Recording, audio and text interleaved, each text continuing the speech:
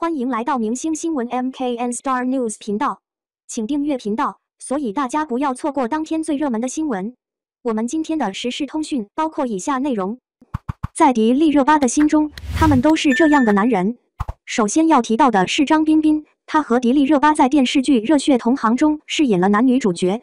这部电视剧非常受欢迎，因为两人的默契和配合得到了观众的认可，被誉为霸道 CP。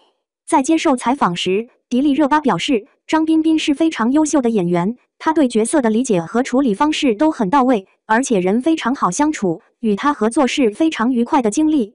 除了电视剧之外，张彬彬和迪丽热巴还一起参加了综艺节目《快乐大本营》。在这个节目中，两人展现了他们的无限魅力和互动。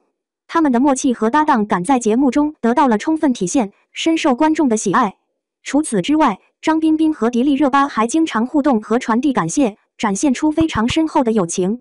其次是鹿晗，他与迪丽热巴在电影《拆局专家二》中合作，在电影中，两人饰演了一对搭档警察，为了完成任务共同奋斗。在片场，鹿晗和迪丽热巴的关系非常好，他们经常一起聊天交流。他们之间的配合默契、相互信任，在表演中有着非常好的呈现。不仅如此，在《拆局专家二》首映礼上，迪丽热巴还特别表扬了鹿晗的表演和品质。他说：“鹿晗是一个非常有才华的演员，他的表演洋溢着自信和稳重，给人留下了深刻的印象，并且还称赞他是真情流露的男孩子。”这些话语甚至成为了网友们最喜欢的句子之一。此外，还有杨洋。他与迪丽热巴合作的电视剧《微微一笑很倾城》同样取得了成功。在这部电视剧中，两人饰演了恋爱中的学生，他们之间的互动和表演得到了好评，还引发了观众的讨论和喜爱。迪丽热巴曾经表示，与杨洋合作是一件非常开心和愉快的事情。他不仅是一名优秀、认真负责的演员，而且还是一位非常好相处、值得深交的朋友。除了电视剧，杨洋和迪丽热巴还共同主演了一支音乐 MV。在 MV 中，他们精力充沛、孜孜不倦，一起共同跳舞和演唱。这个节目展现了他们的亲密关系和紧密联系。在评论上述男演员时，迪丽热巴总是用夸奖的话语来形容他们。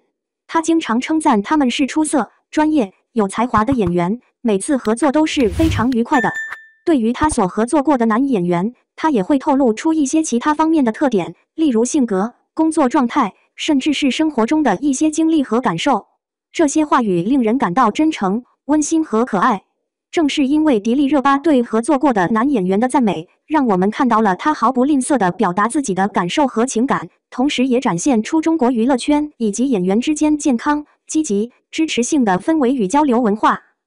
感谢您观看视频，请订阅我们的频道以支持我们。